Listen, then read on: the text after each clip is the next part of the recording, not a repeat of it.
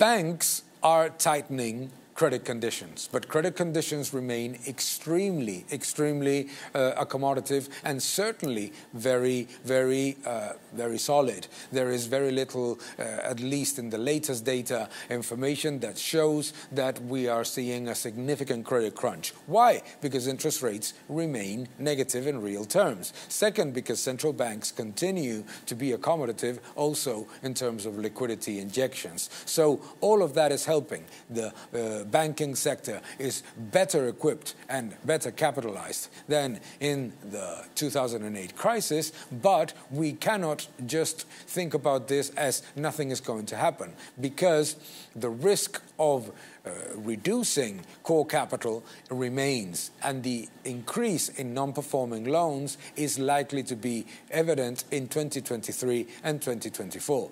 Those may not be as aggressive as those of 2008, but we need to pay attention to what is happening in the uh, banking sector and the financial sector so that we monitor the risk of a tightening of credit conditions that may lead to a credit crunch which is not evident at the moment, but with uh, the path of rate hikes and the weakening of global economies added to the reduction in valuations and the price cuts that we see in some of assets of the assets in the balance sheet of banks all of those can generate some level of risk. We need to monitor that environment. It is not evident now but the risk is there